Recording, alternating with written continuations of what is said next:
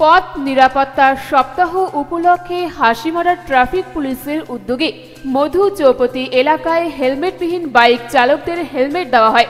পাশাপাশি জয়গাঁ ট্রাফিক পুলিশের উদ্যোগে দলসিংপাড়া শ্রী গণেশ বিদ্যালয়ের ছাত্রছাত্রীদের নিয়ে একটি সচেতনতামূলক পদযাত্রা বের করা হয়।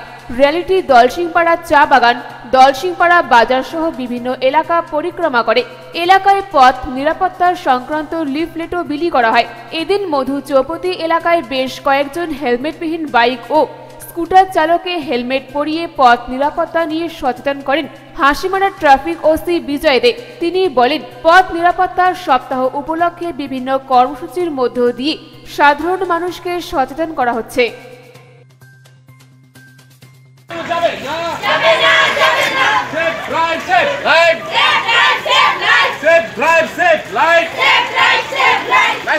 গাড়ি চালানো যাবে না